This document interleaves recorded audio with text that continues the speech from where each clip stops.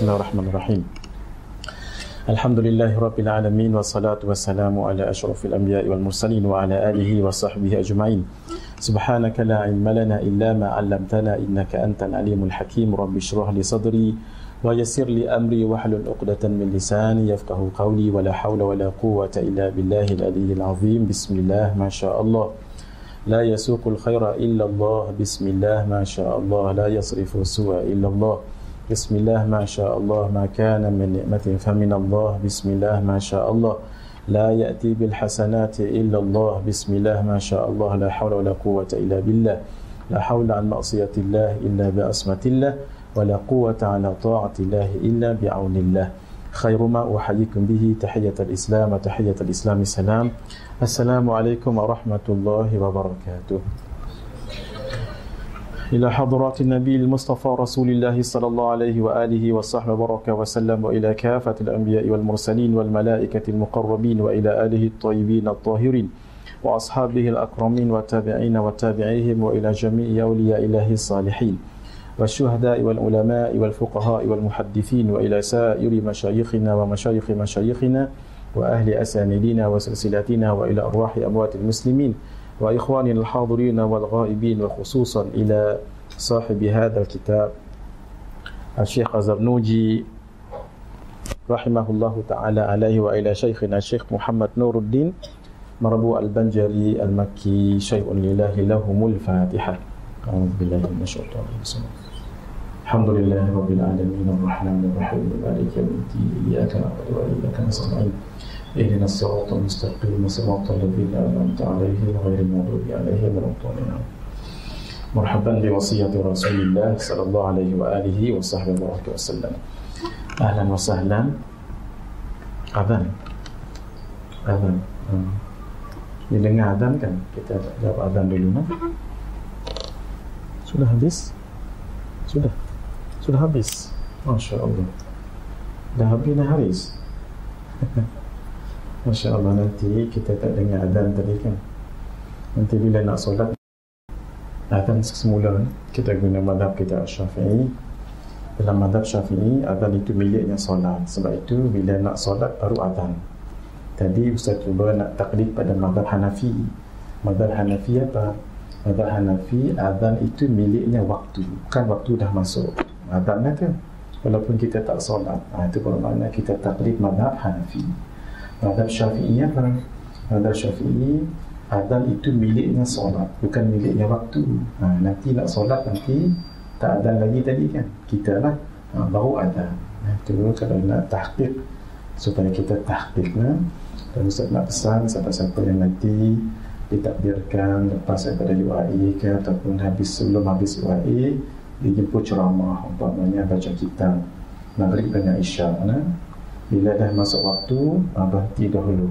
Sebab kita nak menghormati akan syiar. Adhan ini adalah satu syiar. Jadi berhenti dahulu. Tapi taklid ketika itu apa niat? Sekarang ini saya nak ikut madhab Hanafi. Madhab Hanafi adhan itu milik waktu. Kerana dah masuk waktu tu yang adhan tu walaupun lepas tu kita sambung lagi mengaji nah? sampailah. Kita habis tadi nah, sudah. Ha? Bismillahirrahmanirrahim. Untuk uh, sesi ini dan seterusnya Ustaz akan usaha hadir selalu di sini sebab Ustaz sekarang pun dah uh, banyak masa kosong. Maksudnya masa kosong malam Khamis ni lah. Jadi saya cuba untuk hadir. Kita akan khatam kitab ni dulu sampai habis. Kemudian barulah nanti kita baca kitab kekeliruan umat nah, kitab tu jadi wajib lah simpan itu saya nak pastikan setiap yang mengaji di Majlis Ta'lim An-Nur ni mesti ada kitab ni dan kita bagi free atas infak seorang hamba Allah. Tolong setiap kali yang baca baca Al-Fatihah sekali. Tak perlu sebut nama lah niat saya ya Allah yang infakkan kitab ni um, untuk Fatihah untuk beliau. Macam mana supaya sampai? Nah, kita sebut saja niat Al-Fatihah ataupun disebut dengan Al-Fatihah kepada apa ila apa um, ila uh, ila alladhi yunfiqu hadal kitab yang menginfakkan kitab ini tak boleh bahasa Arab bahasa Melayu pun tak apa Fatihah untuk siapa yang menginfakkan ini ya. Baik. Bismillahirrahmanirrahim yang baru mengaji dengan kita ni sebenarnya kita dah agak jauh juga dalam sini ya. dan Ustaz ucap terima kasih pada Abang Adli yang sepanjang beliau di sini dengan yang lain-lain hari dan kuasa yang lama mereka pun dah berat kebanyakan ya. tinggal lagi Entong yang sekarang ini dipimpin oleh Abang Azmir Entong jadi kita ucap terima kasih. Pun begitu masih lagi mereka ada Abang Adli dan yang lain-lain itu uh, Lokman uh, pun hadir juga walaupun mereka punya tugas masing-masing. Uh, jadi itulah Ustaz nasihatkan. Uh, kalau entong yang dah bertugas nanti sekali-sekala datanglah majlis talakti ini untuk charge balik bateri kita.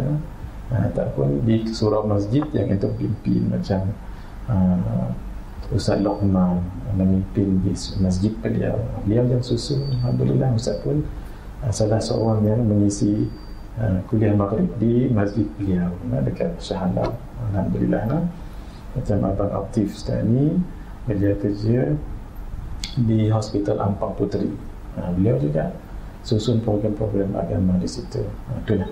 Bermaksudnya itulah entong nilai entong bukan saja mengaji tapi entong boleh buat Uh, create majlis ilmu di mana tempat itu bekerja. Lah ikut kapasiti masing-masing lah. Cuma harus kita faham nanti kalau dah berada di luar daripada dunia kampus itu sangat banyak pencobanya sangat banyak dugaan cabaran ya. kadang-kadang tenggelam kadang-kadang hanyut tak ingat lagi lah yang disebut sebagai talaqi itu pada kurang datanglah ke surau masjid yang ada talaqi supaya kita boleh recharge recharge balik nah. dengan uh, terus menghilangkan diri itu tidak elok lah sebab apa sebab kita memang dah dididik daripada metrik dahulu sampai sekarang pun bertalaqi nah. sama ada ustaz hadir tidak hadir kita perlu hadirkan diri uh, mungkin ada ustaz lain yang akan ganti dan sebagainya nah. itulah antara adab dalam talaqi Baik, bismillahirrahmanirrahim. Kat mana hari itu Azmi? Tak ingat dah Ustaz. Lama dah kita tinggal. Catatan entum kat mana? Ha? 69. Baik. Azmi baca ya. Azmi baca Ustaz akan syarah. Ah, lupa Ustaz tadi. Mana yang warna kuning tadi? Plastik kuning. Ah, yang itu. Ini tolong dibagikan juga. Free pada yang tak dapat kitab ini. Ana bawa tadi 530 tolong bagi di sini 3, 15 muslimat 15 tolong sekarang. Tolong suhad ataupun yang dekat ha, ini pun free juga untuk itu. Tolong baca fatihah untuk orang yang menginfakkan nanti. Silakan buat dobit dan sebagainya sebab itu kita pentong cuma 15 tolong bagi dengan muslimat ya, supaya mereka dapat juga. Lepas ni Ha, itu belilah sendiri lepas ni. Yang dapat, yang dapat ni rezeki lah. Yang tak dapat pun rezeki juga tapi beli sendiri. Yang 15 tolong bagi muslimat?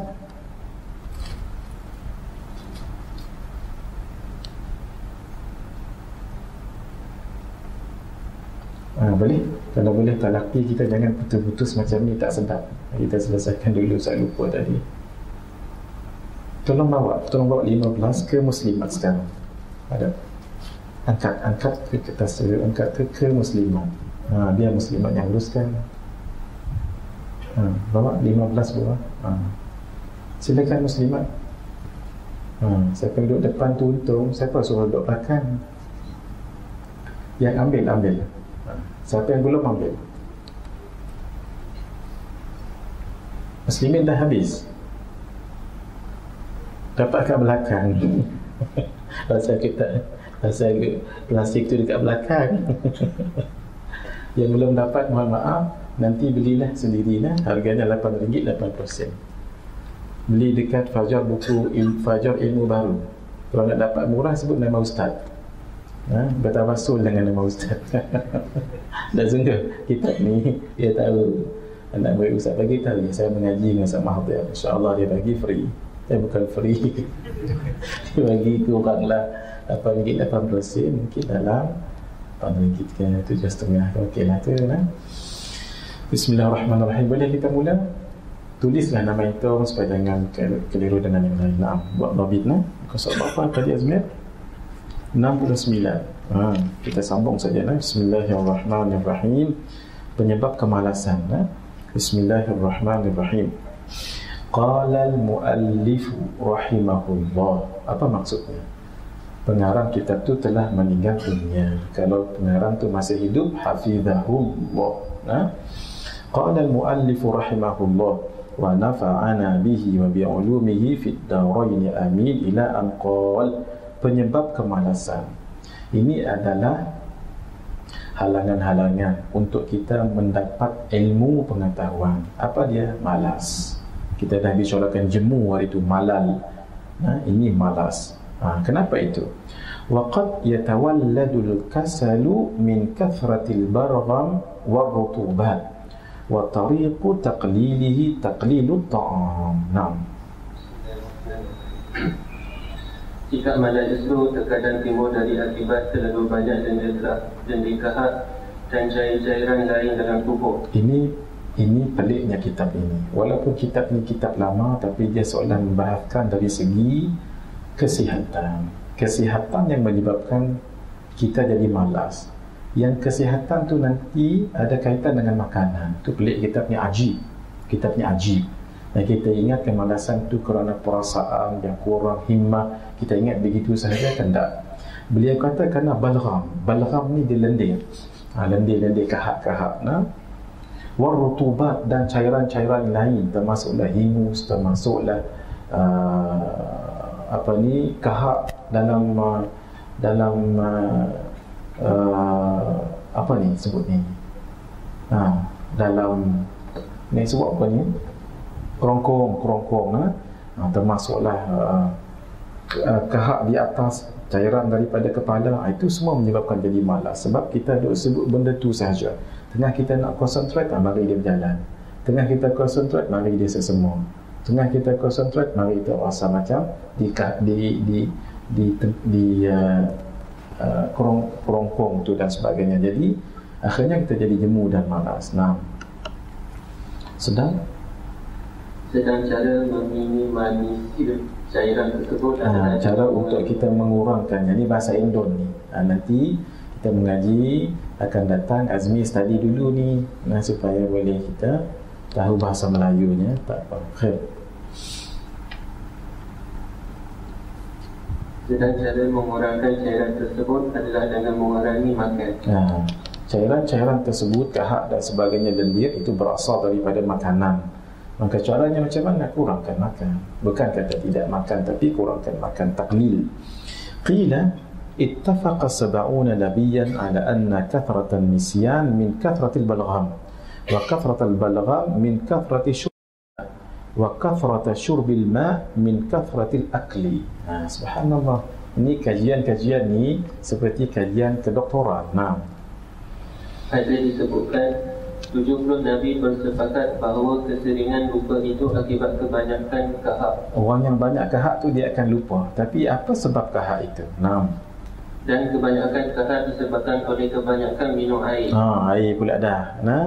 Ha, kemudian dan kebanyakan minum disebabkan terlalu banyak makan. Ah, akhirnya makan juga jadi cerita. Nah. Ah, cerita apa tu kata? Kenapa engkau kata oh kata eh yang cerita apa tu hujan oh hujan bangau bangau oh bangau kenapa engkau kurus sebab ha, semua disalah-salahkan orang tapi ini punca kepada punca apa dia asal muasalnya adalah banyak makan. Ha, tengok dalam Islam ni cantik sekali. Ha? bukan tak boleh makan tapi jangan jangan banyak makan. Ha? Ah, bila jangan banyak makan sedikit makan. Bila sedikit makan itu amalan yang mulia. Sebab itulah antara amalan yang mulia ialah berpuasa sebab tidak banyak makan. Naam wal khubzu al yabis yaqta'u al balgham wa kadhalika aklu zabib 'ala ar-riq wa la yukthir minhu hatta yahtaja ila shurb al ma' fa yazid al balgham Naam Makan roti kering dapat menghilangkan kahak. Ha, sebab itu orang suka makan kering. Sebab kering ni tidak berminyak. Orang Arab kan suka makan kering. Yang yang roti kering tu. Kita jarang orang Melayu makan roti kering. Nah kubus Demikian pula menanam kismis anggur. Ah, kismis. Kismis tu adalah berasal daripada anggur. Kismis tu anggur yang dah kecut. Tu nama- maksudnya kismis. Eh? Makan.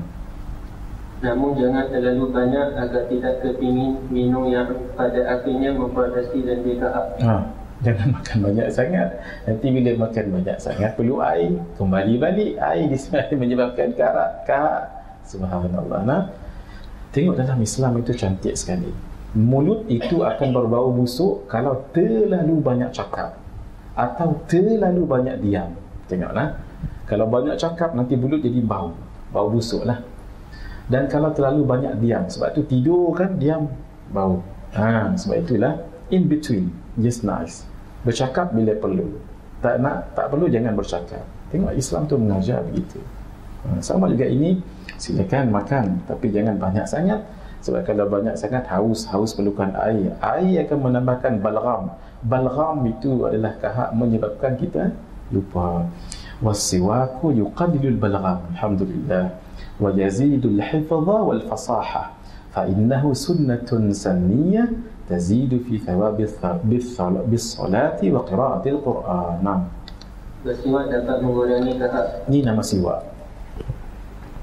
Siwak itu adalah sejenis kayu dan ia sunat lebih besar daripada jari kelingking dan lebih kecil daripada ibu jari. Nah, di ujungnya ni buat macam buat macam bulu-bulu. Ha, macam mana nak buat ni? Kalau orang tak expert, dia pukul dengan tukul, pum pum pum. Nah, kalau orang dah expert, saya pernah lihat Habib Zain. Habib Zain bila ada kayu macam ni dia dia tunjuk dengan anak buah yang rapat-rapat lah yang tak rapat dia buat elok. Ha, kami malam tu dia tunjuk.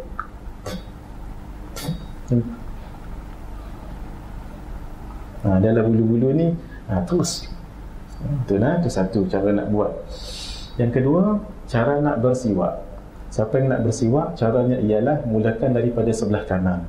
Sebab kana sallallahu alaihi wa alihi wasallam yuhibbu tayamuna fi tanaulihi wa tarajjulihi wa fi sya'ni kullihi. Dalam kitab Syama'il Nabi suka menganan-nganankan ketika tarajjul. Tarajjul ni maksudnya bersikat rambut. Wa tanaul, tanaul pakai selipar, nah. Wa fi sya'ni kullihi. Ha, kerana itulah kalau nak bersiwak Ustaz tunjuk ni, tengoklah. Daripada atas atas gigi kanan bawa ke kiri. Turun ke bawah, kemudian bawa ke kanan. Tengah stop naik atas. Kemudian balas ke kiri turun bawah balas ke kiri. Balas ke kanan turun bawah balas ke kiri. Semula ya? Hmm. ni lurus sampai hujung turun bawah masuk ke tengah naik atas pergi balik ke kanan turun balik balas ke kiri. Ha, itulah satu. Satu dua tiga. Ha, cukup. Sebab Nabi suka yang ganjil-ganjil nah. Kemudian letak dalam poket kita, jangan poket orang. Ha, poket kita nah. Kalau yang malu-malu tu pakai casing tak apa. Letak casing nah. Masya Allah. Apa kata pengarang kitab, musannif kitab? Nah. Menambah kuat hafalan dan meningkatkan kefasihan. Ha, menambahkan kuat hafalan. Sebab apa? Sebab kalau kita berus gigi, jadi hilang kotoran-kotoran, dia tidak akan ada virus yang masuk dalam uh, blood circulation dan tidak akan ada yang mengganggu sistem uh, apa ni saraf kita nah. Dan meningkatkan kefasihan memang betul. Ustaz sendiri kita sendiri cuba makan. Itu makan dan berceramah tak sedap. Dia mesti gigi gigi dibuang. Eh, gigi dibuang pula. Burus gigi. Oh, kita cakap pun jadi fasih. Ha, fasih tu apa? Fasih tu pertama lancar yang kedua bila kita bercakap kita sebut perkataan tu satu-satu ha, jadi jelas orang dengar. Especially kalau bercakap bahasa Arab. Bila cakap bahasa Arab fasihah tu berbunyi ha ha kaifa haluka kalau shin tafashi sh ha, nah, dia berbunyi tu. Kalau tha ha, kalau va va al ha, orang dengar eh sedap betul lah. Kenyang orang dengar nah. Macam orang cakap Inggeris, kalau kita cakap Inggeris, pro, your pronunciation, ha, tu sedap. Nah, I go to school yesterday. Ha, sama. Tapi I go to, to berbunyi tu tu berbunyi nah. Ha, sudah UI masih tahu ni macam bahasa Inggeris eh? I go to school yesterday uh, move move move ha, yang biasa ada tu medicine medicine. Medicine. I'm not I'm not born as an English speaker but could be speaking English as how many years you have been here? How many years? Ah, kan? Ha, itulah hebatnya orang Melayu sebab semua lidah orang Melayu ni lembut. Kalau cakap bahasa Arab you are more Arabs you are more Arab than Arab people. If you speak English you are more English than English men. Itulah yang menyebabkan uh, Syekh Ahmad Didat hairan tengok Profesor Tan, Tan, Tan Suri Profesor Dr. Ahmad Kamal Hassan. Ada kat sini kan? Jumpa tak? Jumpa. Tan Sri Profesor Kamal Hassan. Yang peliknya dia orang pasir mas orang Kelantan. Ha, cakap bahasa Inggeris ya Allah. Kenyang kita malam ya? Naam Demikianlah bersiwak termasuk sunnah Nabi yang dapat menambah pahala solat dan membaca Al-Quran. Betul. Apabila dikatakan sunnah, amal sunnah sahaja, Nabi sebut man ahya sunnati inda fasadi ummati falahu ajru syahidin. Siapa yang menghidupkan sunnahku di akhir zaman baginya pahala satu mati syahid. Hadis yang lebih kuat. Man tamassaka bi sunnati inda fasadi ummati falahu ajru mi'ati syahidin. Nah, siapa yang pegang betul dengan sunnahku di akhir zaman baginya pahala 100 mati syahid. Itu baru pahala menghidupkan sunnah, belum lagi pahala siwa. Pahala siwa Ah, dalam hadis disebutkan salatun bisiwaki khairun min sab'ina salatin bighairi siwak. Min sab'ina salatan bighairi siwak. Hadis ni ada disebut di dalam kitab Hidayatus Salikin fi Suluki Maslakil Muttaqin karena Syekh Abdul Samad Al-Falibani. Satu solat pakai siwak termasuk lelaki dengan perempuan. Nah, lebih afdal dari 70 solat tak pakai siwak. Kebanyakan itu Sebab itu dia man Dia man Siapa yang solat tak pakai siwak tu air Orang yang solat tak pakai siwak tu air ha, Macam siwak tu Dalam solat 20 rakaat kan Mesti 10 kali baca ni. Masya Allah nah? Alhamdulillah mudah-mudahan Musa istiqamah. Itu antara sunnah yang Insya Allah mudah-mudahan kita istiqamah. Begitu juga membaca Al-Quran Al-Karim. Jadi dia boleh menambah pahala sunat. Kalau pahala solat tadi ditambah baca Quran pun begitu juga sebab kita memuliakan Al-Quran Al-Karim. Jadi bila sunat tu dapat pahala. Sebab sunat maksudnya ma yuthabu fa'iluhu wa la yu'aqibu tarikuh nah al-qay'u yuqallilu al-balgham wa rutubat Muntah juga dapat memarahkan pahat dan cairan dalam tubuh yang tidak diperlukan adanya. Masya Allah. Kerana itu siapa yang muntah itu, itu adalah rahmat Allah. Sama juga, kenapa? Sebab dia menghilangkan balamam dengan rutubah tadi. Uh, sama juga orang yang bersih. Kalau yang bersih, uh, itu sebenarnya nikmat Allah. Cuba untuk nak bersih tak jadi.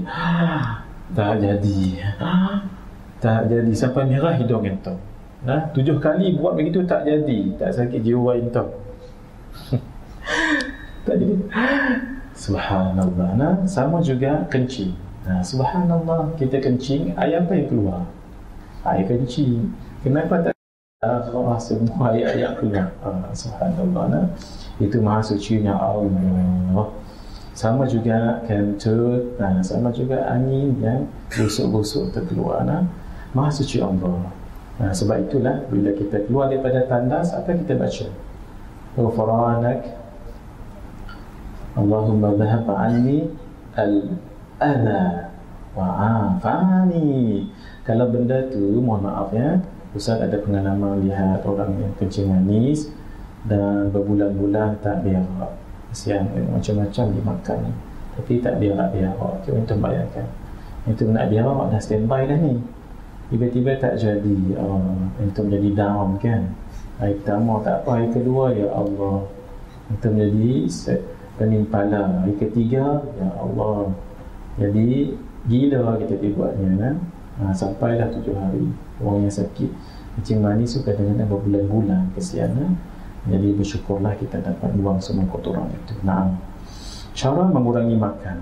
Wa tariqu taqlilil akli at-ta'ammulu fi manafi' qillatil akli. Hiya as-sihhatu wal 'iffatu Cara mengurangi makan adalah menghayati berbagai manfaat yang timbul dari mengurangkan makan. Ha, kalau kita nak kurangkan makan, apa caranya? Caranya caranya ialah cuba faham apa kebaikan kurang makan. Ha, apa? Ha, bila kita dah tahu, ah, maka kita akan usaha mendapatkan. Apa kebaikan mengurangkan makan itu? Satu, Antara lain kesihatan. Ha, sihat kita jadi sihat sebab kita kurang makan. Sebab penyakit itu datang daripada makanan. Nah. Terhindar dari yang haram. Hmm. Sebab kadang-kadang yang kita makan kita tidak tahu apakah ia syubhat ataupun haram. Al-Imam Al-Haddad sebut siapa nak perkataannya itu bercahaya keluar seperti hikmah-hikmah hendaklah dia usahakan jangan makan benda yang syubhat selama 40 hari. 40 hari itu jangan makan yang syubhat. Apa maksud syubhat? Syubhat ni benda yang tak jelas halal ataupun haram dia. Insya-Allah ia halal insya-Allah. Ha, insya-Allah tetapi dia tak jelas nah, tak ada tanda halal ataupun datang daripada uh, negara orang bukan Islam tapi tak ada cop halal tapi nak kata haram secara mutlak tidak juga ha, itu namanya syubhat nah syubhat ni hati kita tak tenang dibuatnya itu syubhat ha, Jangan makan yang syubhat selama 40 hari insya-Allah. Nanti lidahmu akan bercahaya. Sebab apa? Sebab makan perut kita ini tak makan benda yang syubhat. Ha, tambah lagi yang haram jangan dimakan. Sebab yang haram ini boleh menumpulkan ikan ingatan kita blunt. Yang menghafal Quran itu jadi blunt, jadi tumpul. Nah? Ha, sebab itulah ada seorang uh, seorang penguasa raja. Anda tak sebut saya tahu. Dia nak tengok orang tu. Orang tu warak ataupun tidak. Ada tak lagi orang yang Allah selamatkan mereka dari makanan yang haram? Dijemputnya sebahagian ulama ada sebahagian ulama makan ada sebahagian yang lain tidak. Ha, barulah dia tahu. Oh, subhanallah. Memang ada lagi Allah uh, jaga sebahagian ulama yang tahu benda itu haram. Walaupun dari segi zahirnya orang tak tahu. Batinnya mungkin bila ketika dia lihat ni ha, mungkin ada signal ke ataupun di sini dia kuat ha, bergetar ke ataupun dia rasa loya ke ataupun dia nampak sesuatu ke itu bagaimana Allah nak menyelamatkan orang-orang sedemikian ha? Ha, kita ni tak ada, tak ada indikator sebab apa? Sebab kita banyak sangat dosa. Nah ada seorang syekh dijemput oleh muridnya datang ke pondok ataupun ke rumahnya. Hadir memang disediakan khas kambing Syekh ni ketika nak ambil kambing tu tak jadi. Dia makan makanan yang lain. Rupanya diperhatikan oleh anak muridnya. Nah, selepas majlis, Tuan Guru mohon maaf. Tuan Guru saya sediakan khas kambing ini untuk Tuan Guru. Kenapa Tuan Guru tak makan?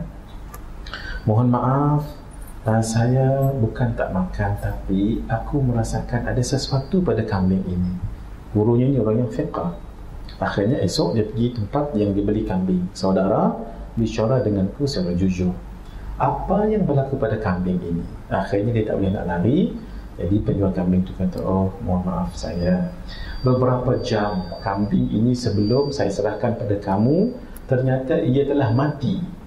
Maka nak kaburkan ni semua, saya pun sembelih dia. Apa hukum sembelih bangkai? Bangkai. Tetap jadi bangkai walaupun sebab dia dah mati nah. Dia sembelih tetap dia mati. Rupa-rupanya kambing tadi sebenarnya apa? Bangkai. Macam mana tuan syekh tu tahu itu adalah bangkai? Sebab dia apa? Dia kata ketika aku melihat kambing ini nafsuku nak nak celapok nak makan nak bersungguh-sungguh nak makan. Aku tahu inna nafsa la ammaratum bisu. Sesungguhnya nafsu ni memang suruh selalu benda hak tak elok. Nah, saya tahu there must be something wrong here. Sebab nafsu saya nak sangat. Bila nafsu nak sangat selalunya nafsu benda hak tak elok. Ini nafsu orang saleh orang alim. Kita jangan nak makan sangat aiskrim eh, jangan-jangan. Jangan-jangan. Ini ya Allah aiskrim goreng Ha, jangan-jangan nah, kita tak boleh kita, kita tak ada indikator kita dah habis indikator tu kecuali orang-orang yang warak sahaja nah. dan prihatin terhadap nasib orang lain. Hmm, al-ithar, al-ithar ni ialah memberi hak orang lain dan memberi hak kita kepada orang lain itu nama al-ithar. Contoh al-ithar, nah. Kita ada program di satu majlis. Bila kita nak makan tinggal seketul ayam. Kita ada dua orang kawan, nah, dengan kawan kita. Al-ithar kita jangan ambil. Bagi dengan kawan, kita makan apa? Makan nasi lah dengan telur apa semua lauk ayam ayam bagi dengan dia nah itu nama al ithar sama juga dengan air sebotol ha, jadi air itu kongsi kita minum sikit yang lain ha, bila dia minum banyak itu nama al ithar tapi harus dipahami al ithar hanya boleh dalam perkara harus sahaja. Dalam perkara sunat tidak boleh. Contoh apabila kita sudah berada di saf pertama lelaki tiba-tiba kita lihat ada orang yang kita hormati mungkin ataupun kawan kita mungkin ataupun senior kita kita pun persilakan dia ambil tempat kita soft yang pertama kita pergi ke belakang. Hukumnya makruh. Sebab apa? sebab Allah telah pilih kita untuk berada di soft yang pertama sebab soft yang pertama ni pahalanya besar banding dengan soft kedua dan seterusnya nah? khairu sufufur khairu sufufir rijal awwaluha wa khairu sufufin nisa akhiruha sebaik-baik soft orang lelaki yang mula-mula sekali yang perempuan di belakang untuk mengelakkan fitnah ha? dalam bab dalam bab perkara sunat tidak boleh ifar jadi ha, ifar maksudnya kita bagi kat orang. Ha, tu jadi kita kurang makan. Walaupun tu mungkin kita boleh makan. Waqila fihi syi'run fa'arun thumma 'arun thumma 'arun syaqa'ul mar'i min ajli ta'ami. Ya Allah. Nam dalam hal ini ada syair dibacakan. Aib aib dan cela hmm, maksudnya bila kita tahu kaedah kan? Apabila at-tikrar at-tikrar bermakna tarkiz eh? at-tikrar bermakna tarkiz kan di tikrar ni diulang.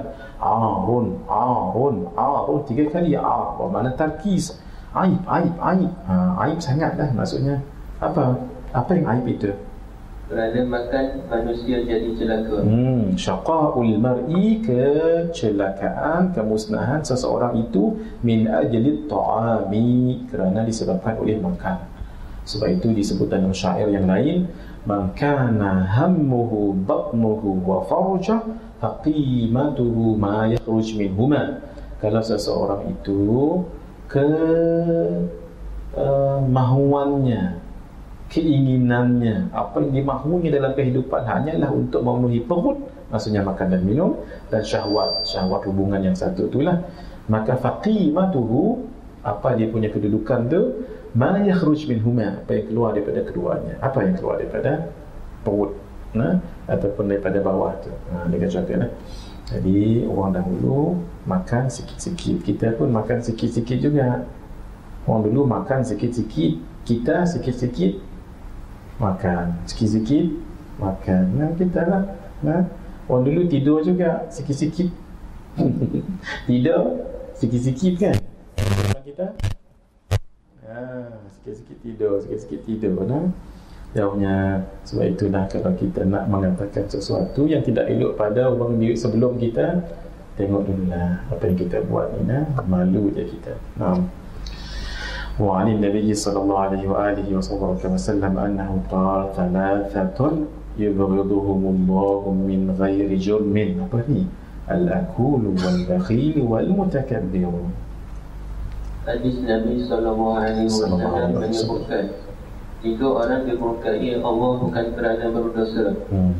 iaitu belahak makan. Al-akul ni orang makan saja kerja dia, nak makan saja. Nah, orang kikir. Kikir ni dia sayang sangat dengan hartanya pula. Dan orang sombong. Ha, orang yang sombong pada apa yang dimiliki olehnya. Kenapa dia rasa sombong? Sebab dia tidak melihat keaiban dirinya. Sebab kalau dia lihat keaiban dirinya maka oh, dia akan tahu kelemahan dirinya. Kenapa kita lihat orang itu hebat? Sebab kita tidak lihat keaiban. Kalau kita lihat akan kekurangannya pasti kita akan kita tidak akan melihat dia itu hebat. Itu saja. Kita bukan hebat sangat pun. Cumanya Allah tutupkan akan keaiban kita daripada dilihat orang. Allah tutupkan akan kekurangan diri kita daripada dilihat dan diketahui oleh orang sebab itu kita hebat sebenarnya tak ada hebat mana pun tapi Allah tutup ha. bila Allah tutup tu kita berterima kasih kepada Allah kerana Allah yang tutup itu kalau tidak pasti orang akan melihat banyak keaiban pada diri kita kalau tidak dari segi makan mungkin minum kalau dari segi bercakap kita bagus mungkin dari segi akhlak mungkin dari segi tidur kita ganas mungkin dari segi makan kita banyak pihak orang mana banyak kekurangan kita ni nah والتأمل في مضار كثرة الأكل وهي الأمراض وكلالة الطبع وقيل البطنة تذهب الفطنة fitnatan dan juga menghayati mudarat yang timbul akibat terlalu banyak makan. Tadi kita nak kurangkan makan satu, kita mesti tahu apa manfaat sedikit makan. Nah, yang kedua, kita nak uh, kurangkan makan kita mesti tahu juga apa mudarat banyaknya makan ha, apa tu? Apa kalau banyak makan apa mudarat satu? Iaitu timbulnya berbagai penyakit dan beban. Hmm, banyak penyakit akan timbul. Sebab apa? Macam-macam. Kalau gula tu mungkin jadi kecil manis. Kalau garam lebih sangat mungkin darah tinggi. Kalau masam jadi apa masam? Apa penyakit masam? Ha? gout apa kaitan dua ni? Ha, siapa masak Allah subhanahu hmm mesti ada nah? yang lebih mesti yang lebih yang mesti mengundang penyakit. Wa kalalah tutfa ini bebal subhanallah. Hmm. Ah dan dikatakan? Ada kata mutiara menyatakan perut kenyang kecerdasan pun hilang. Hmm. Al-bitnatu tudhibul fitnata. Dia sebenarnya ha, betul. Al-bitnah tu berasal daripada batan batan ni perut. Kenyang perut jadi kecerdasan kecerdikan pun jadi hilang sikit-sikit. Sebab bila perut kenyang dia menguaplah mengantuk. Bila mengantuk tidurlah. Ha? itu dia jawabnya payah nak fikir. Sebab dah mengantuk mata ha, kerana itu kurangkan makan dan juga habisnya hukiya an jalinus annahu qal ar-rumman naf'un kullu was-samaku dararun kullu. Masyaallah wa qalilu samaki khairun min kathratir rumman. Masya-Allah. Ada hikayat bahawa Galinus berkata Galinus ni apa? Atobik dan ahli filosof daripada Yunani ha. Orang zaman dulu ni Masya Allah Apa kata beliau? Buah delima manfaat seluruhnya Buah delima Pernah makan buah delima itu? Tak makan?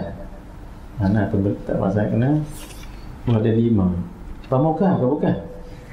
Ha, jangan silap faham ni Ni live ke ni? Ha? Ni live bukan? Ha, nah. Aku silap faham nanti Sekarang ni macam-macam ya. Kita cakap sikit salah pun Dah jadi viral Ya Allah Nah kita belajar apa dengan makhluk ini dengan makhluk ini dengan cameraman ini kita belajar kalau every word comes up from your lips will be recorded by this makhluk bagaimana kiraman katibi lebih lagi nah, itu yang kita belajar ini tapi jangan takut berbicara lah sesuatu yang bermanfaat. Nescaya apa yang direkamkan orang ini menjadi pahala bagimu walaupun selepas kematianmu. Wa iyyaka jaga-jaga. Jangan mengumpat. Jangan kata yang tak elok. Nanti akan menjadi dosa walaupun selepas kematian sebab yang ni ni tak dipadam. Kecuali internet itu kena bom ataupun uh, rosak dan sebagainya nah.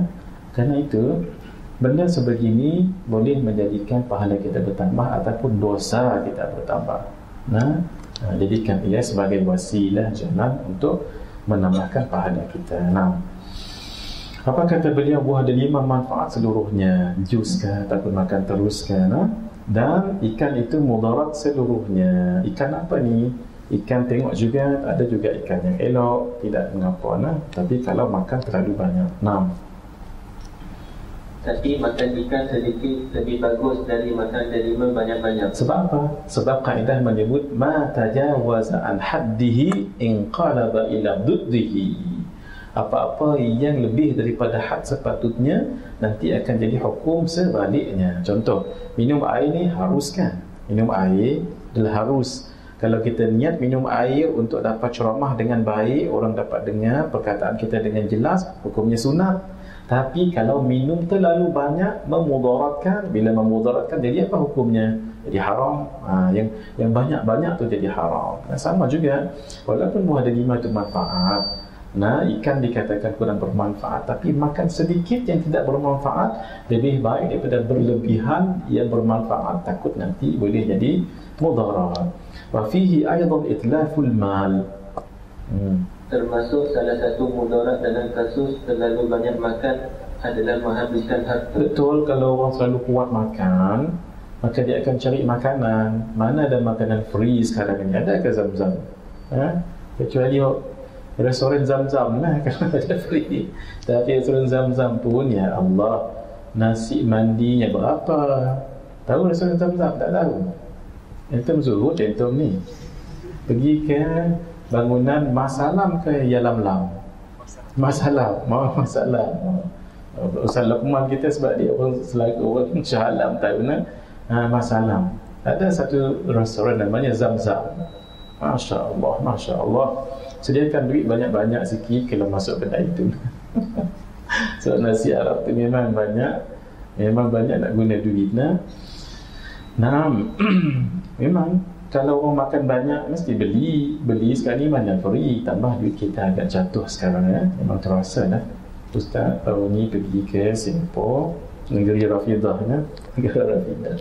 Uh, jadi ada hamba Allah ni dia bawa duit Singapore 800 ringgit. Ha, tukar ke Malaysia jadi 2,500 ringgit Lokman ya Allah 2,500 ringgit Malaysia ha, Ustaz sebut Lokman tadi sebab Lokman kat sini Ustaz nak habak dengan Lokman yang kata apa dia 250 2,500 Lokman ringgit ha, itu dah duit kita ha. doa sajalah ha. Subhanallah sebab itu ada hikmahnya kalau kita pakai dinar emas maksud dia tak akan jatuh banyak nah? Kalau tidak subhanallah uh, Itulah uh, Yang kata ekonomi dunia ini sekarang Kita berada dalam sistem You can run away from the system Unless you do rectify Or Islamicize. Islamicize. Kan sistem itu. You can run away. Tak boleh lari. Sebab memang kita berada dalam sistem. Cuma kita Islamicize. Make it to be more Islamic. Nah? Nah. والأكل فوق الشبع ضرر محض ويستحق به الإيقاع في دار الآخرة والأكول بغيض في القلوب Maka setelah perut kenyang adalah bumi mudarat dan mendatangkan siksa di akhirat. Memang, kalau dah kenyang sangat-sangat akan datang mudarat. Paling kurang mengantuk yang sangat-sangat. Kalau tidur, nasi tu dalam tu tak sempat dihadam lagi dia jadi tidur tu esok rasa kenyang lagi. Sebenarnya dia basi dalam ni. Dia belum di proses dihadamkan memang. Nanti akan jadi siksa di hari akhirat. Dah lepas subuh makan sedap. Nah buka puasa. Maghrib lepas. Isyak lepas. Tarawih ma'asalamah lah. Witir. Subuh. Ya Allah lima itu yang kata nanti you are responsible di hari akhirat. Nah. Orang yang terlalu banyak makan itu dibenci dan tidak mendapat simpati. Memang banyak sangat makan. Sepatutnya kita sikit-sikit ya. Dia seorang hantam habis. Kalau dalam pinggan tu bila dia datang kita dah takut dah. Sebab dia akan menggoncangkan dunia. Kalau kita dengan kawan-kawan biasa ni khair, nah? nasi ambang tu nasi ambang. Ha, empat orang Tapi kalau dia datang dua bahagian dia seorang. Dah dia kuat makan sangat-sangat lah ha, Kerana itu untuk barakah makanan. Malam ni kita ijazahkan satu amalan ha. Ketika itu makan Baca doa macam biasa. Allahumma barik lana Fima razaqtana Wa qina azaban nar. Tambah satu doa lagi Iaitu hmm, hmm, Apa yang dibaca yang last kali itu Inna hadha la rizquna. Tulisna Inna hadha la rizquna ma lahu min nafad. Inna hadha la rizquna. Inilah dia rezeki kita. Malahu tidak adalah padanya min nafad daripada kebinasaan. Insyaallah berkat makanan itu adik-adik muslimat yang masak ha, ha, nanti bacalah tu inna hadha la rizquna malahu min nafad nah pun tak suka sangatlah kalau terlalu banyak makan. Tapi kalau banyak makan kena pada tempatnya contoh orang buat gulai banyak jadi kita pun makan banyak ada setengah tuan rumah dia suka sangat tu okey. Ha? sebab itu pergi kenduri jangan sebarang bawa orang. Kalau tidak diizinkan oleh tuan rumah. Sebab tuan rumah kadang-kadang apa dia budget nah kadang-kadang. Kalau tak budget is okay. Wa tariqu taqlilil akli. Ha, dia mengajar lagi. Sebab itu kitab ni Jangan baca waktu dalam kuliah kita saja talapi nah, Di rumah belik-belik tengok. Belik-belik tengok nah. Ada juga yang tengah melajukan dalam bahasa Melayu. Kita tak faham ni sangat. Baca ni dia, Bahasa Arab lebih mudah difaham ni. Tambah lagi berbaris nah. Uh, jadi nak lebih faham bahasa Melayu kita tengok Dalam Jawi Tak Jawi pun ada yang terbaru ni. Kalau tak silap Ustaz Ustaz Abu uh, Jabal Marapi kalau tak silap Ustaz lah. beliau ada melayukan dalam bahasa Melayu Malaysia kita. Ha, ni nak tunjuk lagi macam mana cara kita nak kurangkan makanan. Wa tariqu taqlilil akli ay ya'kul al-at'imat ad-dasima wa yuqaddima fil akli al-athar al-altar wa wal al-ashha wa la ya'kul ma'al ja'i illa idha kana lahu gharadun sahih. بأن يتقوى به على الصيام والصلاة والأعمال الشاقة فله ذلك نعم Cara lain untuk mengurangkan makan adalah menyantap makanan yang berlemak hmm. yang mengandungi zat pemuak. Makan yang lemak dia kata supaya kita muak-muak tinggal tak makan banyak. Ada juga cara enam mendahulukan makanan yang halus lebih disukai. Apa yang halus-halus? Contohnya yang tepung-tepung ataupun yang senang dihadamkan. Itu dulu. Nah. Yang keras-keras kemudian. Supaya tidak membazir nanti. Nah. Dan jangan makan bersama dengan orang yang lagi kelaparan. Ah, kalau orang lapar, habislah. Semua dilanggak dia. Kecuali jika hal itu dilakukan untuk tujuan yang baik. Ah, kalau dia berpuasa ke, ataupun dia kerja keras ke, tak apa. Semisal harga kuat berpuasa Solat atau tugas-tugas berat yang lain. Ya, Maka bolehlah demikian. Maksudnya kalau dia makan banyak tu Sebab dia memang kuat berpuat berpuasa Ataupun dia nak kuat bangun malam Ataupun dia nak kuat tugas-tugas beras Tugas-tugas berat yang baik-baik. Nah. Faslon kita berhenti pukul. Malam ni kita lambat sikit boleh. Pukul uh, Paling lambat pukul 10 nah. Sebab saya nak banyak-banyak baca ni kalau kita ada soalan, silakan tulis dulu soalan. Paling bagus tulis lah supaya kita minimis masa kita. Kan? Jam ni pukul berapa dulu? Jam ni pukul berapa? Pukul sembilan. Jam tu betul ni? Sembilan. Tu betul lah.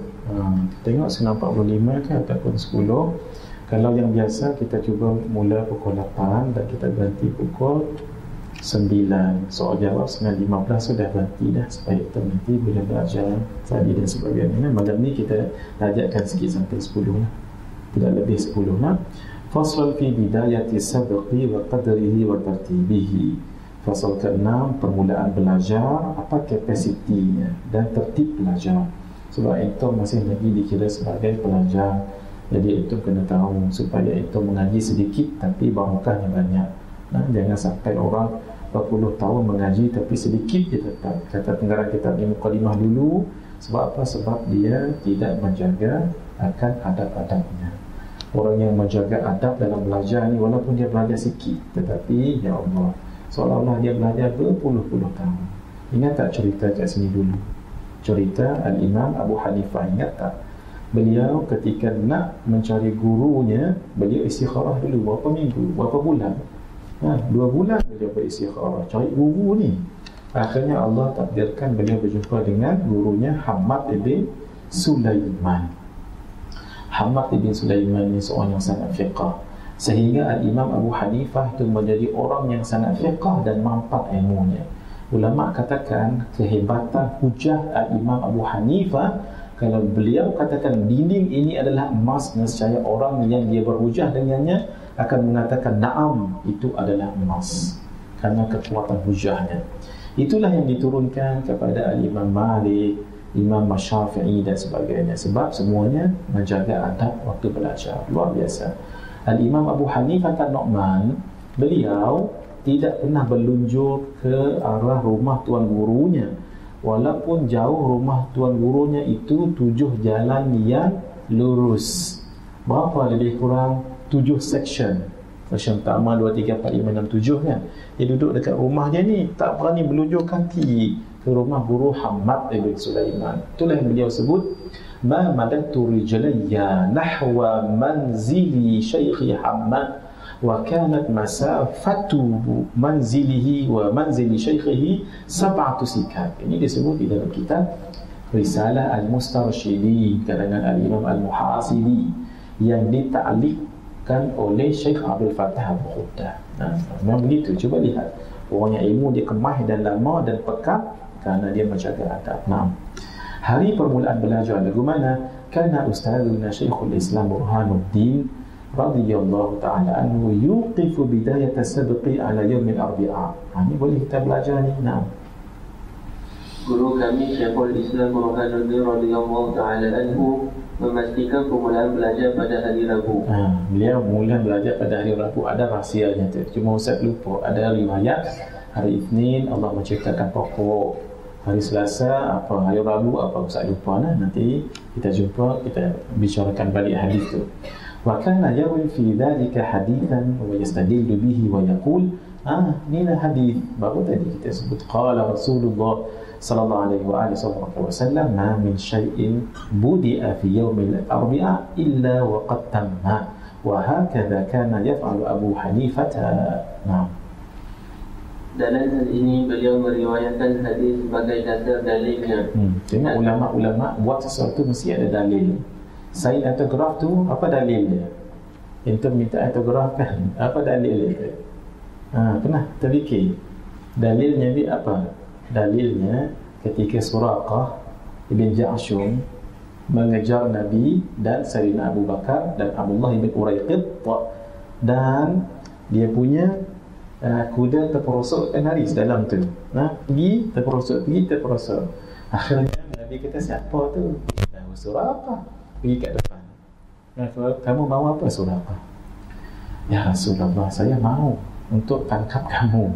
Nah, dan sebab siapa di, dikatakan kami ditawarkan siapa yang dapat tangkap kamu dan dapat lihat kamu akan dibagikan unta ratusan ekor unta.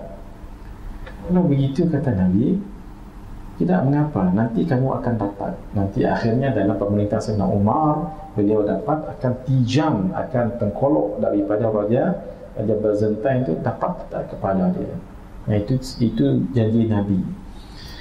Cuma Allah kata apa apa bukti ya nak bagi tahu orang kufar nanti kat Mekah apa bukti saya dah dapat jumpa kamu tu. Ha, lalu kata Nabi ya Abu Bakar uktub. Saya Abu Bakar tulis sesuatu tak papan. Ha, sebagai tanda dah jumpa dia. You have met us. Nah, kamu dah jumpa kami?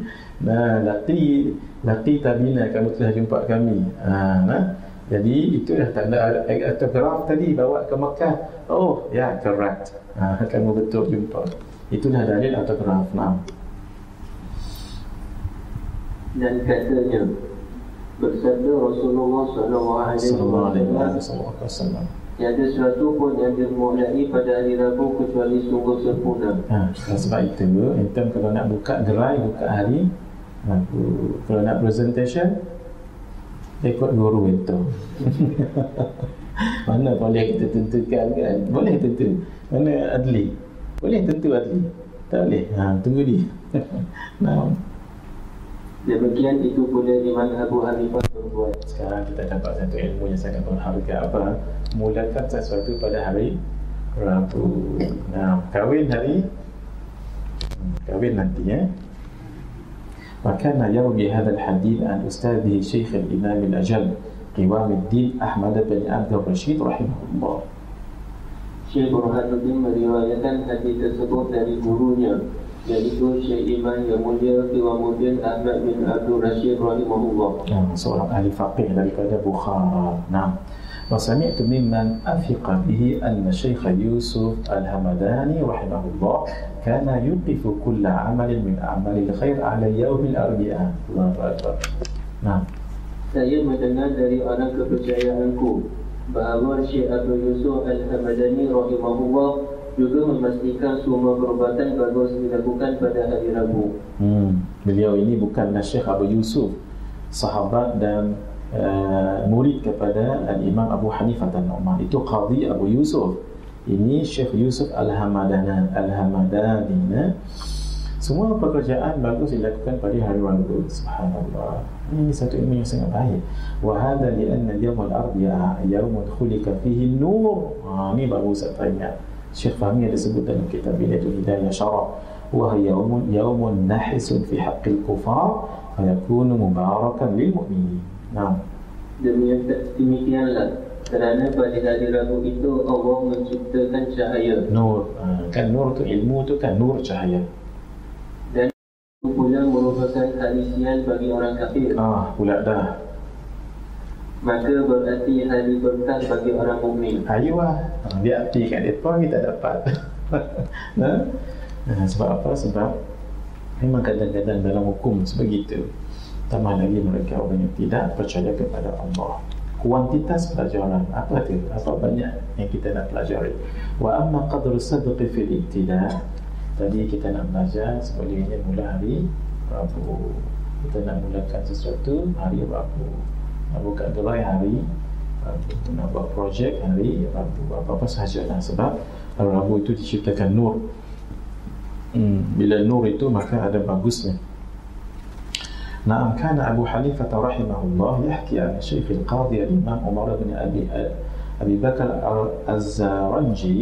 أنه قال قال مشايخنا رحمهم الله ينبغي أن يكون قدر السبق للمبتدئ قدر ما يمكن ضبطه بالإعادة مرتين ويزيد كل يوم كلمة حتى أنه وإن طال وكثر يمكن ضبطه بالإعادة مرتين ويزيد بالرفق والتدريج Adapun ukuran pelajaran permulaan adalah sebagaimana berikut. Imam Abdul Hanifah rahimahullah menghikayatkan dari Syekh Fadli Imam Umar Syekh Qadhi Syekh Fadli Qadhi Qadhi Syekh Fadli Imam Imam Umar bin Abu Bakar Az-Zaranji rahimahumullah. Katanya rahimahullah. Rahimahullah. Pada guru kami berkata sebaiknya ukuran pelajaran bagi murid bermula bermula adalah sepanjang yang bisa ia hafal dengan mengulang dua kali. Ha, maksudnya jangan banyak sangat. Bagi satu ayat ataupun satu matan, ha, dia boleh tahu tu dan dia ulang dua kali, hafal. Ulang dua kali dia hafal. Maksudnya sikit sajalah. Muhammad bin Abdillah. Ha, dia pun ulang Muhammad bin Abdillah tu hafal. Ha, tak apalah. Ada setengah seorang yang mungkin lambat Muhammad apa? Muhammad apa? Muhammad tak apa sekali saja tengok nah. Kalau dia boleh Muhammad bin Abdullah bin Abdul Muttalib bin ha.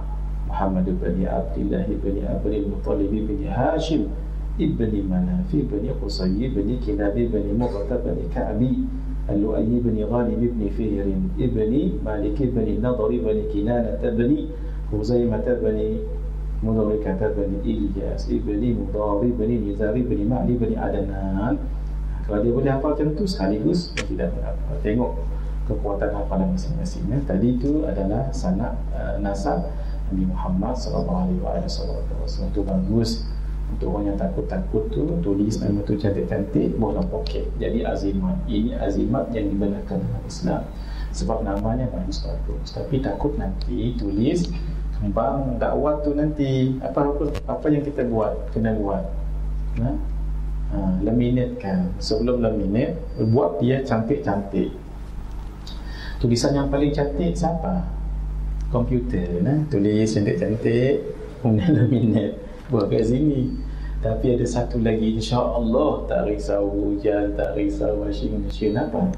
Ha, dalam ya, dalam dada apa insya-Allah di mana-mana pergi kalau takut-takut di samping baca lain kita tafaul ambil barakat dengan nama Nabi Muhammad sallallahu alaihi wa alihi wasallam. Nanti anak ustaz akan bagi nasab tu dengan uh, Azmir dengan Adli pun Ban Adli pun tak apa dengan Muslimat mungkin dengan siapa dengan Adilah pun boleh ataupun Rafidah pun boleh nah. jadi Haris ke nanti hafalkan siap Ustaz tulis lagi nasab tu supaya itu berbangga itu bangga apa? Ya Rasulullah. Kami ya Rasulullah tak hafal pun nama nama bapa kami nama bapa hafal lah yang tak hafal nah, maksudnya nama bapa yang atas atas tu. Datuk tapi namamu ya Rasulullah. Pejam mata saja سيدنا محمد بن عبد الله بن عبد المطلب بن هاشم بن عبد مناف بن قصي بن كلاب ابن مرة بن كعب بن لؤي بن غالب بن فهر ابن مالك بن النضر بن ابن النضر بن كنانة بن خزيمة بن مدركة بن إلياس ابن مضار بن نزار بن معدي بن عدنان صلى الله عليه وآله وصحبه وسلم حفاظنا سفيا يا رسول الله. Ini tanda sayang kami kepada Tuhan. Enam. Kemudian ditambah sedikit demi sedikit pada setiap hari. Hmm. Sehingga setelah pelajaran menjadi banyak, dan baca pun tetap bisa dihafal bisa ni maksudnya boleh tetap boleh dihafal dengan mengulang dua kali demikian lambat laun pelajaran akan bertambah setapak demi setapak tuan faham tak apa maksudnya maksudnya orang dahulu belajar macam mana menghafal ha, orang dulu belajar kan iman menghafal supaya dia kemas dekat sini. Bila kita dah kuat hafalan Masya Allah nah, jadi mudah kita. Baru ni Ustaz pergi uh, ke ceramah di Mati Matin eh, dekat Perlis. Pagi-pagi mereka hafal tu Luqman Aqidatul Awam Abda'u Bismillahirrahmanirrahim Sampai habis Subhanallah. Tak tengok teks.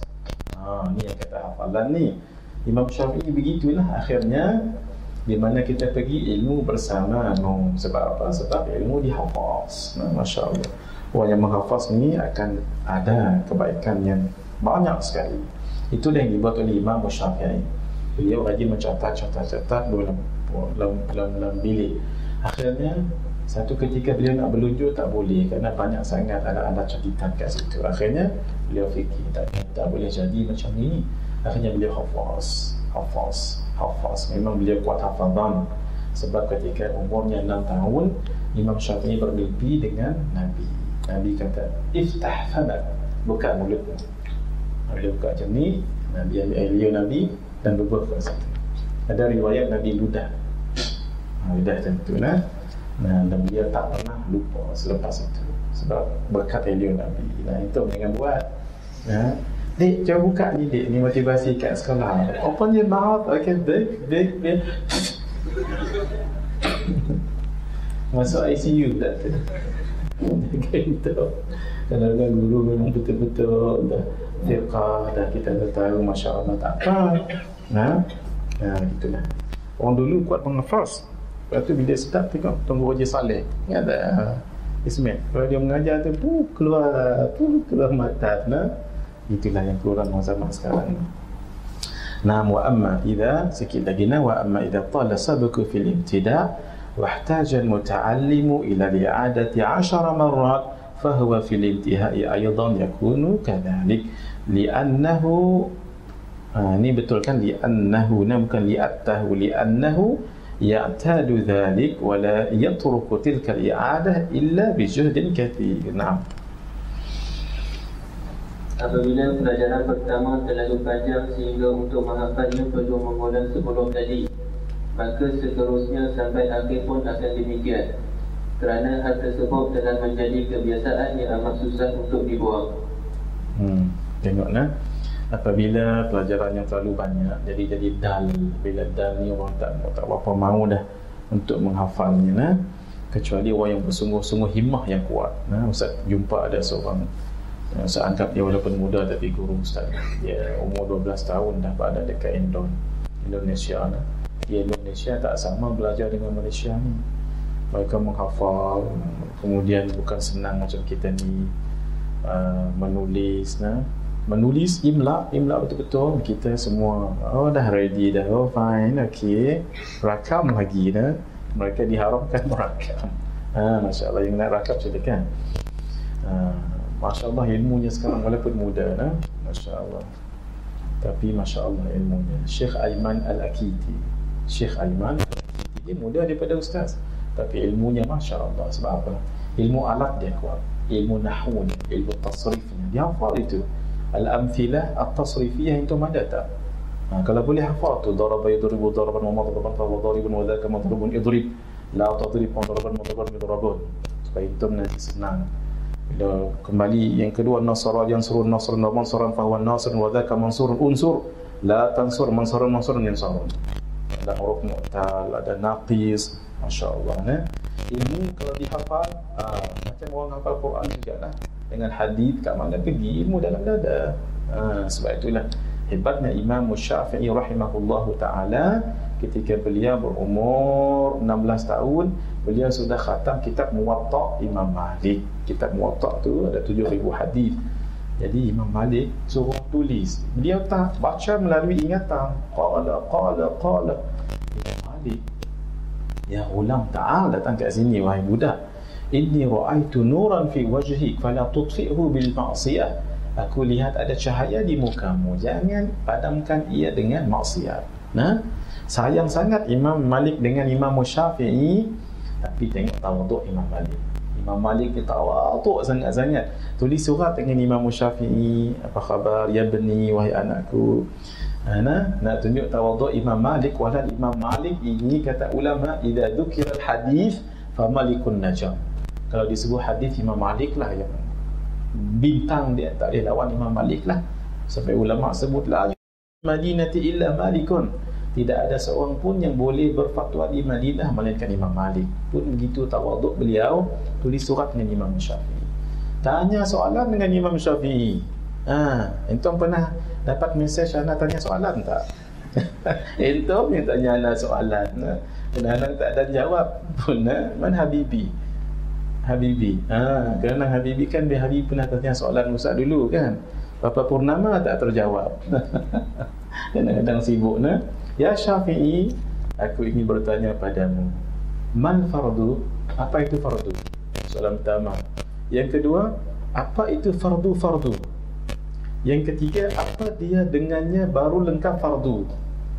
Yang keempat, apa dia sembahyang fardu yang bukan fardu? Yang kelima, apa dia sembahyang yang dilakukan maka dia difardukan lagi sembahyang itu yang keenam apa dia sembahyang di antara langit dengan bumi? Yang ketujuh apa dia sembahyang di langit dan di bumi? Tengoklah soalan standard soalan. Boleh jawab Haris? Imam Syafi'i dengan tenang. Oh ngalir insyaAllah. Baik Tuan Guru jawab. Semua Tuan Guru Ada pun yang dikatakan Fardu itu adalah solat fardu. Yang dikatakan fardu Fardu adalah wuduk Sebab Wuduk itu menjadi fardu untuk solat nanti Sebab ia syarat kepada sahnya. Solat Kalau tidak Idan tafa syaratu Fantafal masyrutu Kalau tak ada syarat ini Maka hilanglah yang disyaratkan. Habislah solat tu. Yang ketiga Apa dengannya jadi Lengkaplah fardu itu? Namanya tasyahud. Tasyahud. Kalau kita solat tidak tasyahud sah solat. Tak sah kan? Ha, jadi tak sempurna apa dia sembahyang fardu yang tak fardu? Sembahyang budak kecil. Dia sembahyang zuhur sembahyang fardu. Tapi fardu tak ke atas dia? Tidak sebab dia kecil lagi. Nah sembahyang fardu yang tak fardu. Apa dia sembahyang fardu yang dia kena fardu lagi solat? Orang yang sembahyang dalam keadaan mabuk. Dia mabuk nah, tak sah solat dia. Nanti dia recover dia kena solat lagi qada apa dia sembahyang di antara langit dengan bumi sembahyang Nabi Sulaiman. Sebab Nabi Sulaiman ada mukjizat angin. Boleh sembahyang datang angin. Apa dia sembahyang di langit dan di bumi? Sembahyang apa tu? Ya, sembahyang Nabi Muhammad sallallahu alaihi wa alihi wasallam tu cerdiknya Imam Syafi'i. Nah, sebab beliau sangat kasih dan sayang dengan Imam Malik. Dulu saya pernah Ustaz pernah cerita kat sini kan? Kalau cerita tak habis ni Ha, kita ni dulu saya usah cerita kecerdikan Imam Syafi'i nah. Ha. Wa amma sudah. Ha, sudah. Wa qad qila as-sabqu harfun wa tikraru alfun. Ada kata mutiara pelajaran baru satu huruf tapi diulang-ulang seribu kali. Memang begitu. Sebab nak dia dhabit betul-betul ulang selama 40 kali ulang. Nah. Ha. Kualitas pelajaran kita berhenti tepat pukul 10. Siapa yang ada tanya soalan uh, malam ni kita bawa dulu ke uh, minggu depan Ustaz ada tak kat sini? Tengok tengok nanti nah. Tengok nanti. Ustaz akan usaha untuk hadir selalu dekat sini. Ha, sebab Ustaz lihat ni nampak cantik. Dulu kat sini nampak sedikit orang ni rupanya ramai manusia. Ustaz kat sini dulu tengok kat sini. Dekat sini luas sikit pandangan. Siapa yang buat benda bid'ah ni? Haris ke? Ni jadi bagus lah, ni bagus Alhamdulillah. Cuma nanti kita mula awal lah, pukul 8 lah. Ha, kalau saya lambat sikit, yang tunggu lah. Bismillahirrahmanirrahim. Kualitas pelajaran, kualiti pelajaran kita habiskan di sini. Nah. Baik. وينبغي أن يبتدئ بشيء يكون أقرب إلى فهمه نعم Sebaiknya dimulai dengan pelajaran yang mudah dipahami. Memang begitu sebab kita mula daripada yang senang. Sebenarnya kalau nak sedap baca kitab gondol. Tahu kitab gondol? Kitab tak ada bari. Kita ni sedap yang baca sebab ada bari. Cuba tak ada bari. Wa yam baru wa yam bariyu wa wa yum baru wa yum bari. Ana dia kena belajar saraf, nahu, nahu, saraf. Itu insya-Allah ni tak, tak apalah ni. Besar pahala orang yang buat ni ya. subhanallah sampai kita pun doktor Haji Ali As'ad ni Masya Allah besar pahala dia. وكان شيخ الإمام الأستاذ شرف الدين الأقيلي يقول الصواب عندي في هذا ما فعله مشايخنا رحمه الله فإنهم كانوا يختارون للمبتدئ صغارات المبسوطة لأنه أقرب إلى الفهم والضبط wa ab'adu minal malalah wa aktsaru quan bainan nas. Adalah guru kami Syekh Iman Syarafuddin Al-Muqayyi rahimahullah berkata Menurut saya yang betul dalam hal ini Maksudnya yang betul dalam banyak yang, ah, yang dipelajari itu apa? Uh, yang yang kualiti yang dipelajari itu apa? Uh. Menurut saya yang betul dalam hal ini adalah apa yang dilakukan pada guru para guru kami iaitu mereka pilihkan kitab-kitab summary untuk murid baru. Hmm. Summary ni apa? Kitab-kitab summary juga kat sini lah. Kitab-kitab yang dah di uh, ringkaskan. Nah, sebab itu entom nak jawab soalan exam, nak belajar macam mana? Entom kena tengok soalan dulu kat belakang tu.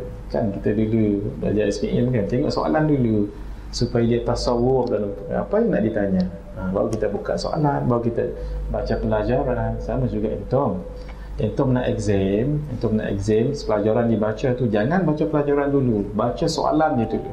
Soalan yang sem lepas-lepas dulu tu. Tengok. Dia mesti ada persamaan. Ha, tengok study dulu. Ah, ha, baru baca jangan study tidur. Oh, macam ni soalan. I know that. I know that. Bismillahirrahmanirrahim. Ah, mutu ayat tak jadi juga. Nah. Nah. Murid baru bagi summary eh. Hmm. Dengan begitu akan lebih mudah dipaham dan dihafal serta tidak menjemukan dan banyak terjadi keaplikasi di tengah masyarakat. Hmm. Supaya dia dapat tahu apa soal apa yang nak dibicarakan itu. Supaya dia baca panjang-panjang nanti takut malalah. Malalah ni malal. Malal ni boring. Boring ke bored? Are you boring ke are you bored? Are you? Kalau cikgu tanya, are you boring? Student pun, yes, we are boring. Cikgu kata, of course, from beginning, very beginning of the class, you are boring. Boring tu maksudnya membosankan. Bored tu rasa bosan. Bila student kata, we are boring, kami membosankan lah. Memang pun, daripada first class bosan. Tengok muka hantar. Nah, cakap orang putih ni, pergi elok di UAE ni adalah the, the the best place to polish your language ya. Walaupun tak pernah fly to any other countries tapi ambil masa kat sini betul-betul 4 years 4 tahun dekat sini jangan duduk dengan sama orang Kelantan tak jadi dia kena duduk dengan orang Afrika orang Nigeria barulah polish bahasa Arab kita dengan bahasa Inggeris. Haris duduk dengan siapa Haris? Ha? Orang Melayu? Allah. Ha, tak apa. Sebab dia pandai memanah ha? Haris dengan dengan Amirul. Satu geng memanah. Satu tempat memanah. Ya. Oh, Masya Allah orang yang memanah ni dia mengajar kita fokus. So tak Amirul? Hmm, ya? Bismillahirrahmanirrahim. Sikit lagi. Ah tinggal 2 minit ha? jam ni betul ni. Tinggal 5 minit. Kita habiskan membuat catatan. Nah bismillahirrahmanirrahim. Buat catatan wa yanbaghi an yu yu'alliqa sabqa ba'da ad-dabti wa li'adati kathiran fa innahu nafi'un jiddan. Dianjurkan kepada para murid agar membuat taklid terhadap pelajarannya setelah hafal dan sering diulang-ulang catatan catatan tersebut kedap sana berguna. Ha, mula-mula tadi hafaz, bila hafaz, hafaz, kemudian catat. Ha, nah. Sebab catatan itu sangat berguna suatu hari nanti. Sebab itu penting buat dabit, sebolehnya entum buat dabit jangan dalam kitab lain. Buat dekat sini dabit. Dabit yang berkaitan dengan ni mungkin fawaid fawaid boleh tulisan kitab lain. Nah sebab fawaid tu mungkin kita bawa kitab ni dengan guru yang lain. Fawaid faedah faedah yang jarang-jarang kita tahu. Kerana guru tu dapat ilham nah ha. anda bagi contoh lah yang dikatakan fawaid ni. Fawaid ni faedah faedah nah. Memang jarang kita jumpa ni. Antara fawaid yang diajar oleh Habib Zain nah. Bila kita pergi umrah ataupun haji kan tahallul tu tahallul ni ha, rambut tu biasanya apa siapa yang dah ada pergi umrah ada pengalaman ha? rambut tu biasa akan dibuang gitu saja kan ha. sepatutnya rambut kita tu rambut kita tu ambil simpan ha? nanti tanamkan dekat perkuburan makla ataupun perkuburan baqiyah kenapa sebab Nabi sebut man istata'a minkum ayyamuta fi ihdal haramain falyaf'al. Siapa di kalangan kamu yang boleh meninggal dekat Baqi ataupun dekat Ma'la buat. Tinggal lagi kita boleh buat gitu tak? Mana boleh? Bunuh diri lain cerita. Nah, ah, sekurang-kurangnya. Walaupun jasad kita tidak ditanam, ada rambut kita kat situ. Ha. Ni ingat ni rambut ni jangan benda lain pen kad metrik yang lain tu itu bukan? Ini rambut sahaja ini jangan pernah jumpa pernah dengar suhat jarang jumpa kan? Hak ni jarang ke selalu? Selalu dengar ustaz selalu lah. Nah. Ha, ni cara memang ni namanya fawaid. Faedah-faedah yang baru faedah ilham daripada Allah. Ilham yang bagus-bagus. Ha, sebab itu pelajar dia mesti ada buku catatan. Nah buku catatan kecil. Memang fawaid itu bukan main selalu Ha, contohnya yang pakai serban eh? Ifwat Adli siapa lagi yang pakai serban eh? ha, Muslimah tak ada pakai serban Yang pakai serban nanti usahakan Ifwat Adli siapa lagi syekh kita Nama ha? Khalid Khalid ha, Khalid Nanti kalau pakai serban jangan pakai duduk Kalau pakai serban pakai berdiri nah? Sebab dalam kitab Al-Adab Al-Habib Muhammad Amin bin Adros mana mana uh, hakim? Ah, hakim eh? dalam kitab tu hakim pernah disebutkan kalau pakai serban jangan pakai serban duduk sebab ia nanti membawa kepada kemiskinan. Apa kaitannya kerana tak dalam hadis tu eh? tetapi pengalaman tajribah alim ulama. Nah yang terakhir ولا يكتب المتعلم شيئا لا يفهمه فإنه يورث كلالة الطبع ويذهب الفطنة ويضيع أوقاته نعم تفضل